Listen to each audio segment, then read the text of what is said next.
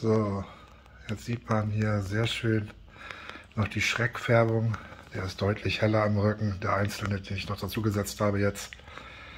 Und der sucht sofort seine Artgenossen auf, schwimmt mit denen.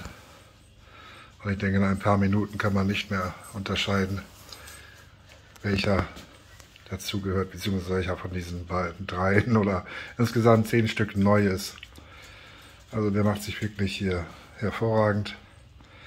Ja, und ich hoffe, er fühlt sich jetzt deutlich wohler wie alleine in den anderen Becken. Ja, hier wie gesagt, er wird begutachtet und gut zu erkennen. Eine ganz helle Schreckfärbung noch.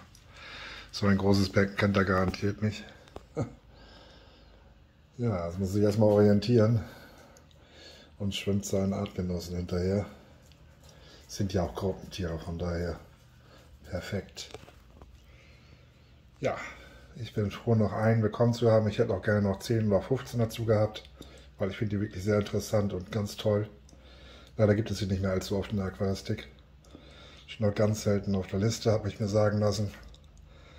Und wenn das nächste Mal welche kommen, sagt er mir Bescheid.